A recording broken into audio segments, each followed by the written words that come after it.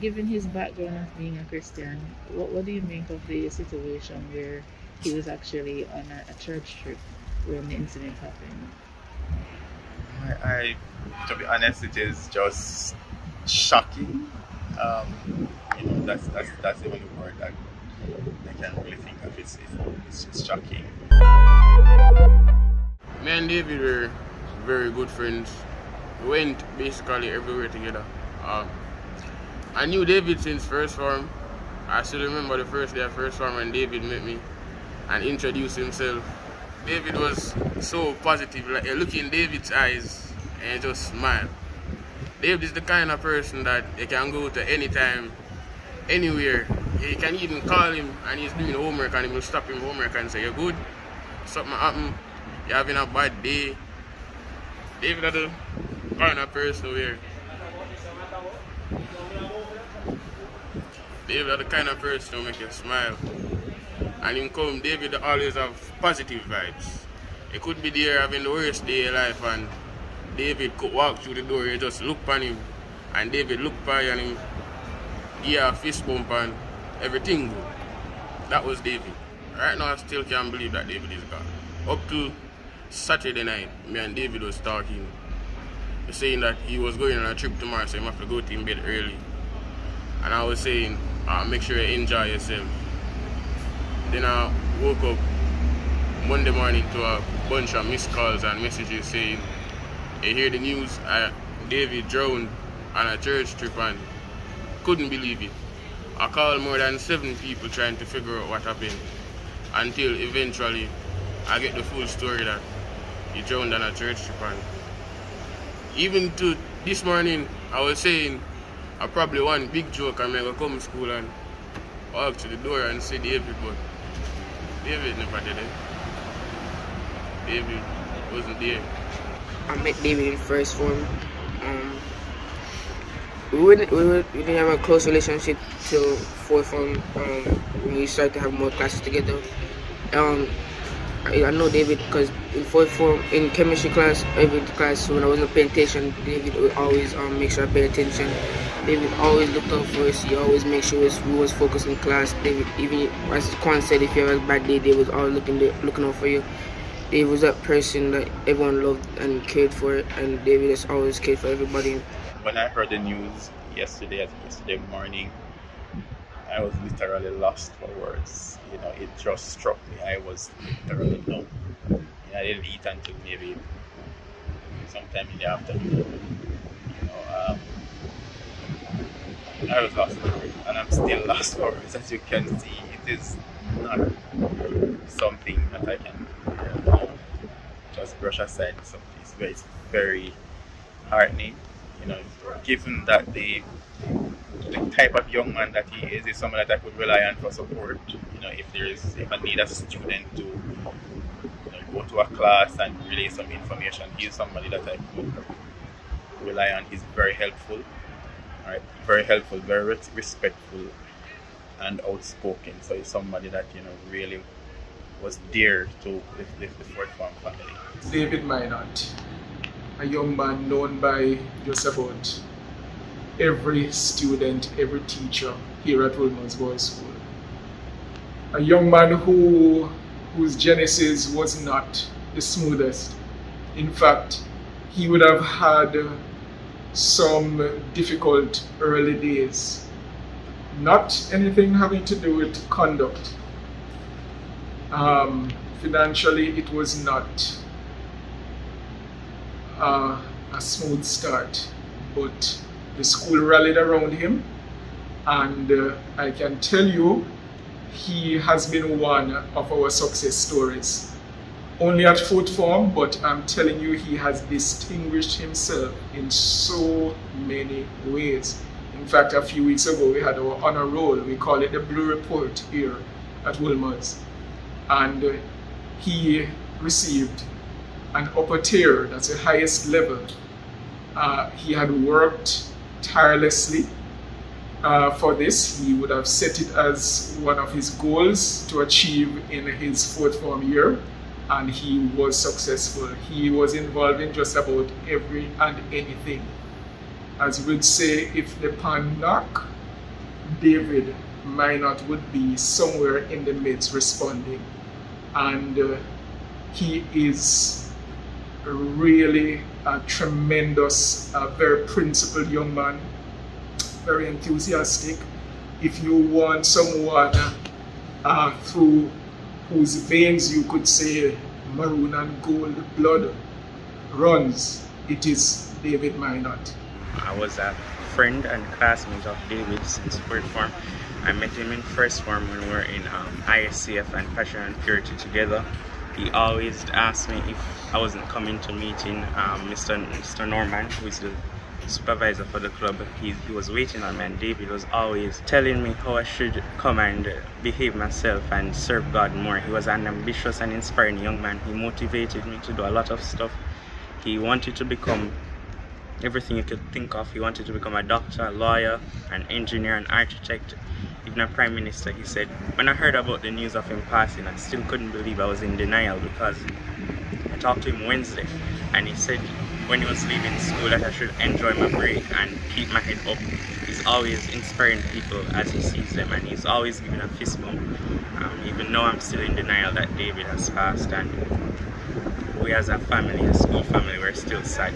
David was who I would refer to as an exemplary human, an exemplary Wolmerian, an exemplary young man, a gentleman.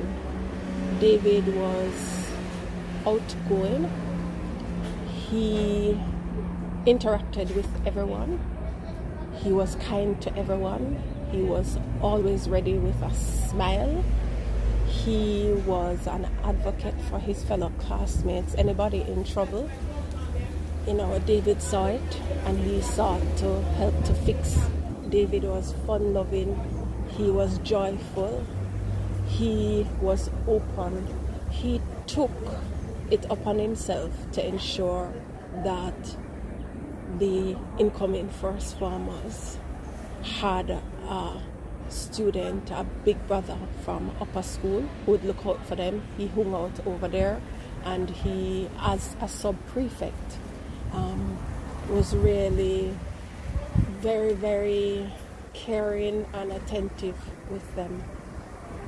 That's just the kind of person he was, and he was that person also for, I would say, a cross section of Wolmer's, whether it's students, teachers, parents. David never passed you without saying hello, having a word to say. He was animated. He was he had manners. He was that young man that you would say was well mannered. Um, and so you felt attached to him, you felt close to him. One of the things I loved about David is he took advantage of opportunities. He placed himself in a position where he could be recognized for um, what he was doing in school and so become a sub prefect. Uh, last year, when we had our first ever Wolmer's Boys PTA Chant Challenge competition, David was one of the first to enter a chant. He was excited about it um, and he participated. He placed third. He had a brilliant chant what I loved most about him was how he related to other competitors. Um, he had that spirit that made everyone feel comfortable. We actually recorded the songs at the Sugar Minott Studios, and he ensured that all the fellow competitors felt welcomed. He made sure that all of us, as parents, members of the PTA who were there, felt welcomed. So, do you remember the last encounter you had with him? Yes, yes. What was it like?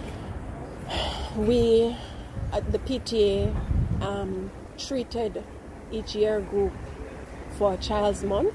We treated them to slushy, a refresher after a long day of school. And so we had uh, the fourth form slushy on the Monday, and David was served his slushy. However, on the Wednesday when we had our third form year group slushy, I saw David downstairs and he came and he said, Oh, he wants an extra slushy. Now, of course, they had gotten slushy on the Monday, so no, David, know you can't get. But David was the, the kind of person who you wanted to go an extra mile for, you know. He just had that spirit, and as he walked away, he and another fellow, I saw them and I said, No, man, come back. And he ran back, collected the two extra slushies, smiled big, and run off. That was my last encounter with him. I did see him the morning of that same day, and he was. I mean, I guess he was telling everybody about it, but he was excited about this church trip, you know. But my last encounter of it was of him smiling. He was happy. He's involved in church activities and such. So Oh yes. Could you tell us, uh, do you know a little bit about his adventure in the Christian? Oh yes, oh yes. As a matter of fact, last year David received Youth of the Year award at the church. He was the public relations officer for the ISCF at school here. David led by faith. If you interacted with David, you knew he was a Christian. He was the first to pray on a trip. We had a trip to Maroon Town. We're now into Portland, and David was on the bus. He prayed. He prayed for all the students. He was the first to pray and to give comfort to classmate who had just lost his father. He he led devotions in class. Um, he was the first to speak to you openly about his faith, his strong belief in God, which he took from his grandmother, um, who is a big part and a major influence in his life. Um, he would just about make himself always available to tell you about Christ. And in his character and in his actions, you saw Christ in him. You saw that he was led by his faith. David took advantage of opportunities. Um, he, in every single way, I would say, was the ideal Wolmerian, and you saw promise. And so last year, at the PT, we learned of an opportunity for students to receive scholarship, and we, um, I nominated David for that scholarship. David and another young man, and they both received it. So there would be oftentimes interaction between he, myself, and his grandmother. David is a people person, very caring young man, one who advocates for his peers. I mean, I can recall my last conversation with him on Wednesday before we went on the break was him advocating for one of his peers um, about a detention that he thought was unfairly given. And he, we had, I believe, three conversations about it. He was trying to, you know, try to explain to me why I think it was not fair. And so, you know, he's he's like that. He's loved by everybody. He's a man of God. You know, um, my first encounter with him was him walking into one of my classes when he was in second forms. Like he just randomly just walked into the class and he just said, "Good morning. Um, I just I'm just here to tell you that Jesus loves you and you should continue praying." And then he just left. He's very outspoken. Um, as I said, he, uh, he's a, he's an advocate for just about everybody. Um, and so he's a he's a member of our sub prefect body. He's friends with everybody. There's never conflict with him and anybody. He's always there, and he's he's one that they could rely on to you know keep them on the right path. You know, he's never one to, to shy away. You know, some people say, "Oh, I don't, I'm not going to say anything." If they see their peers doing something that they're not supposed to, he's going to tell them, "No, you're not supposed to do that." Remember, we're not supposed to do that. You know, so he's like that. Given his background of being a Christian, what, what do you make of the situation where he was actually on a, a church trip when the incident happened? I, I, to be honest, it is just shocking. Um, you know, that's that's that's the only word that I can't really think of. It's it's just shocking. Um, but it is life, and we have to, to deal with it. Um, honestly, you know, maybe this is just something to, to teach us a lesson. Um, we didn't expect him of our persons, you know, given the kind of person he was as a God-fearing person. I would say a good person, you know, to to, to, to so. And so I think there is a message in all of this for us to put our house in order. I think so. One thing about us, we never forget our Wolmerians. And he is one of those who would have gone on before us. And of course, we'll be seeking to memorialize him in some shape or form. It's something that we'll have to discuss as a, as a team, as a leadership team, and also with the, our stakeholders because it's important once you see someone who is uh, so much a Wolmerian, it is only wise and proper for us to find an excellent way for other young men to, to, to, to know about this character, to understand how they can be like a David Minott. The relationship I had with David, um, we were quite close friends because we did quite together at some point during first and second form, so I knew him on that type of level. From your point of view, who was David? To me, David was a role model to all of us. He was a positive person. He was there for everyone. He always made sure that we all doing the right thing at the right time. He he was just the type of person that you'd love to be around. So how do you feel about the news? Devastated. I was my jaw fell to the ground when I heard the news. I was shocked. I was a classmate to David since first form. And from way back then, I could see that he's one of those individuals that's different from the rest. He's the kind of person that will go above and beyond for anything. And I don't know how he was able to do it because he could be passionate, same level of passion about everything, and he would do, he'd get involved with as many things as possible. So even up until third form, I remember when we had to select subjects, he was so divided because he enjoyed all of the subjects in third form and he wanted to do all of them, but he had to make a selection. And then when I heard the news, honestly, I was a bit surprised when I first heard it and I was disappointed, devastated. And then when I heard how it happened, what what had gone down about the trip and how he drowned, I just was furious. I'm still furious because it just feels like it's something that he just needed to take a few different steps and he could have prevented all of this from happening.